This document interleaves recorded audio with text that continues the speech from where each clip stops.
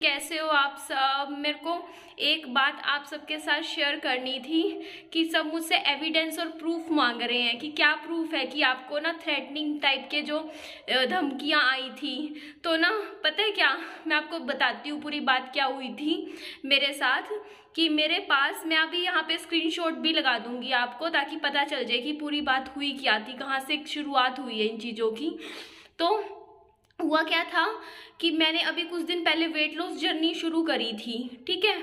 तो weight loss मैं पतली होने के लिए मतलब काम कर रही थी। तो मेरे पास ना एक पर्सन है जो कि मैं अभी दिखा दूँगी आपको, और आप में से भी कहीं ने उनको, उन, उसका देखा होगा नाम वगैरह। तो उन्होंने ना मेरे पास ऐसा गंदा मैसेज किया, बोला कि ना आपको ना ऐसे बोला सीधा कि ना अभी कोई नहीं, थोड़े दिन खुश हो ले, उसके बाद देखियो, तेरे को तो टेंशन ही टेंशन मिलेगी। और बाद में ये भी बोल रहा है कि मैं फेसबुक इंस्टाग्राम पे मतलब नहीं क्या क्या काम करता हूँ, ऐसे इस टाइप की चीज़ें बोली।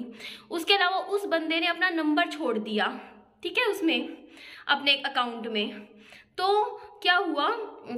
कि आ, मेरे जो फैंस हैं ना वो भी और हेटर्स भी दोनों ही मेरे ऊपर पूरी कड़ी नज़र रखते हैं। मतलब मेरी एक्टिविटीज़ पे मैं क्या बोलती हूँ क्या करती हूँ इतना मुझे भी नहीं ध्यान रहता।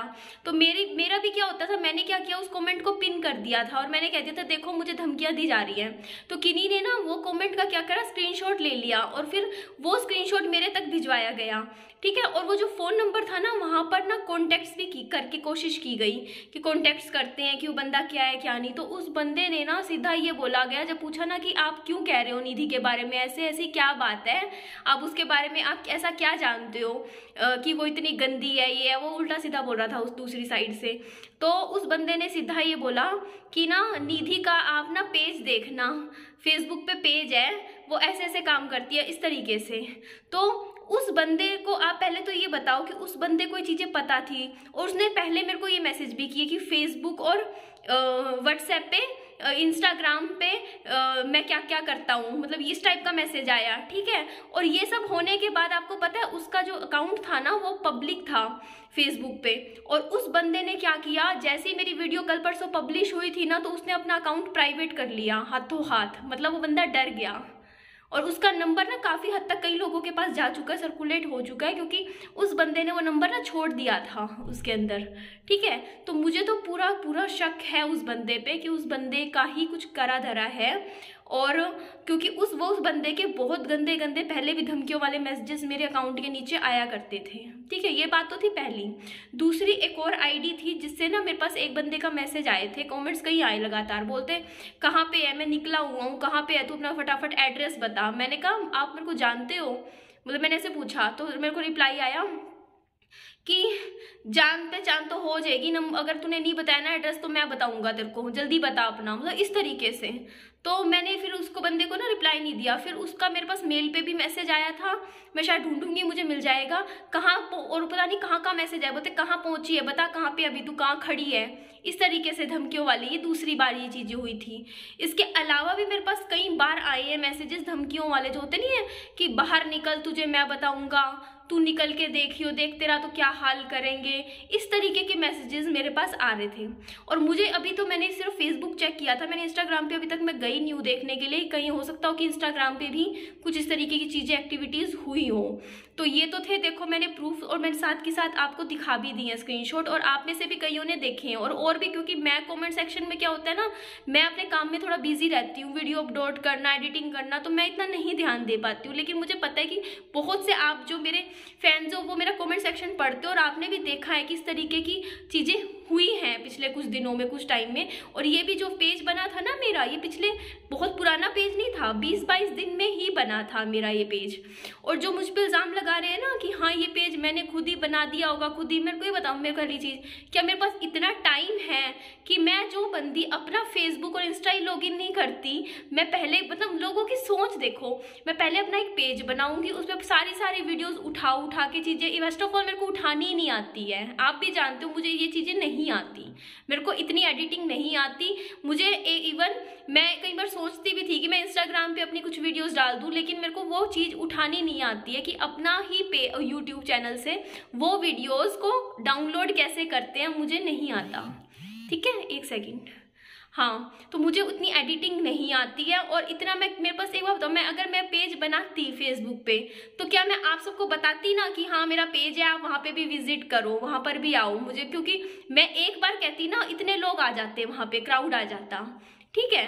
और दूसरी चीज़, वो कह रहे हैं ना कि ना, ये मतलब कोई बताओ, क्या कोई लड़की इस लेवल तक गिर सकती है? इस लेवल तक? सोच के देखो, लोगों की जो सोच है ना, मेरे को बोल रहे हैं कि इस लेवल तक गिर जाएगी कि हाँ ये लड़की अपना खुद ही पेज बनाएगी, उसमें गंदी गंदी वीडियोस अपलोड करेगी और उसके बाद वो ये कहेगी और अपने आप ही पुलिस में चली जाएगी, फिर एफआईआर भी कटवा देगी, फिर अपना इतना टाइम मतलब किसी बंदे के पास होगा कि उसके बाद दूसरा कोर्ट में, साइबर में चली जाएगी और उसके बाद मेरे पे ब्लेम करेंगे कि हाँ इस लड़की ने कंप्लीट एक्शन नहीं लिया। एक्शन तो मैंने करवा रखी है, अभी भी एफआईआर कटवा रखी है, बट आपको भी पता है, सिस्टम बहुत स्लो है और मुझे इतनी नहीं मेरे से चीज़ें हो पा रही हैं और एक चीज़ मैं, ये चीज़ मैं बोलती हूँ, अभी भी बोल रही हूँ कि मैं थोड़ा सा मेरे को डर भी लगता है क्योंकि मेरे ना तो हस्बैंड है और एक छोटा बच्चा भी है, मेरे को बाहर निकलना भी पड़ता है और मैं ये चीज़ सोच के एक एक बंदा एक बार तो ये चल सोच ही लेता है कि चलो अगर किसी बंदे ने मेरी उस वीडियो को देख के वो चीज़ें अपनी साइड से डिलीट कर दी,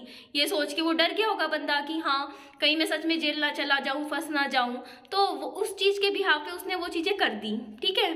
तो उस चीज़ को अगर आगे फिर मेरे को मतलब ये कह रहे कि हाँ इसने, इसी ने बिल्डअप किया है, ये झूठी और दूसरी चीज़, मेरे को कहते हैं ना कि लोग कह रहे कि ना हाँ ये कम्युनिटी से भी पोस्ट डालती है और अपने आप डिलीट कर देती है। तो बस मैं इतना बोलूँगी, मैं करती हूँ डिलीट इसलिए करती हूँ क्योंकि मैं ना अपनी कम्युनिटी में क्या होता है, अगर मैं किसी की भी पोस्ट शेयर करती हूँ ना कम्युनिटी में चैनल भी प्रमोट करती हूँ तो मैं बारह घंटे के लिए करती हूँ, कुछ टाइम के लिए करती हूँ। बारह घंटे, पंद्रह घंटे, तब तक जो क्राउड होता है, उसको चला जाता है वहाँ पे।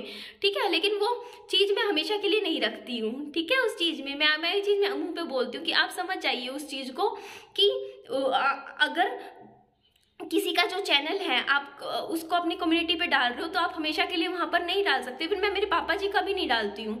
क्योंकि ना, अगर उनके चैनल पे कुछ गलत एक्टिविटीज़ होंगी या कुछ होंगी तो वो आपके चैनल पे भी इफ़ेक्ट डालती हैं। इस वजह से मैं उस चीज़ को नहीं वो करती हूँ, ठीक है? तो ये चीज़ थी और आपको मैं, आप भी, मेरे को प्लीज़ आपसे भी मैं ये रिक्वेस्ट करती हूँ, कोई भी इस टाइप के थ्रेटनिंग कॉल्स या कमेंट्स आए और जो मेरा ध्यान अभी भी शायद ना हो और आपके पास कुछ हो प्रूफ हो एविडेंस हो, कुछ ऐसी चीज़ें जिनका पता होना मेरे लिए बहुत ज़रूरी है क्योंकि मुझे पता है, मेरे को देखने वालों में से बहुतों को बहुत से प्रूफ पता होंगे तो प्लीज़ मुझे इंस्टा पे मैसेज मत करो, मुझे ईमेल करो क्योंकि मैं ईमेल तो फिर भी थोड़ी बहुत ध्यान दे जाती हूँ इंस्टा पे लॉगिन मैं कम करती हूँ तो आप मुझे प्रूफ दो, इकट्ठे करके दो ये चीज़ें कि, ताकि मैं उस चीज़ पे पहुँच सकूँ और साथ में आप समझ रहे हो ना वो चीज़? धीरे धीरे ही समझ आएगी, पता चलेगी। मैं भी कर रही हूँ। मुझे एक ने, मुझे एक और भी कमेंट आया था जिन्होंने मुझे बोला था कि एक बहुत बड़ी साजिश चल रही है आपका चैनल हैक करने के लिए। और सॉरी और जैसे ये मैसेज पढ़ो, आप ही ये ये मैसेज डिलीट कर देना यहाँ से यहाँ से कमेंट सेक्शन से. प्लीज़ मैडम प्लीज़ आपसे रिक्वेस्ट है कुछ एक्शन लो. मतलब इस तरीके का मेरे पास आया था और मैंने उस टाइम पढ़ते ही डिलीट भी कर दिया था वो कमेंट मैंने बस मेरा दिमाग नहीं चला, मैं स्क्रीनशॉट नहीं लिया उस टाइम मेरे को, मैं इतनी हुई बेवकूफ़ से। मेरे को लगा हाँ पढ़ते डिलीट करने को कहा तो मैंने पढ़ते सही में डिलीट कर दिया। तो मुझे इस चीज़ का भी है तो मैं भी इस चीज़ से कंसल्ट कर रही हूँ अभी, ताकि मैं अपने चैनल को थोड़ा और सिक्योर बना सकूँ। क्योंकि बहुत सी गलत एक्टिविटीज़ मेरे अगेंस्ट पॉलिटिक्स हो रही हैं। इन चीज़ों को आप प्लीज़ समझिए।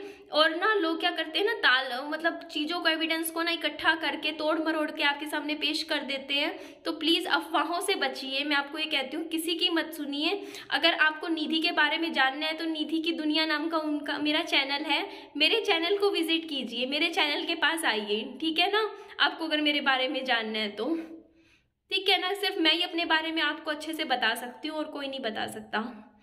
तो चलिए अपना ध्यान रखिए, मुझे सारी बात आपको सामने शेयर करनी थी और नहा के आई थी। आज इतनी ज़्यादा गर्मी है ना, इतनी ज़्यादा चिपचिप वाला माहौल, मौसम सा हो रखा है और मैंने पता है दो दिन ना मैं बाहर गई हूँ और ऐसा हो गया मतलब बाल भी नहीं बाए मैं अब नहाई हूँ जाके।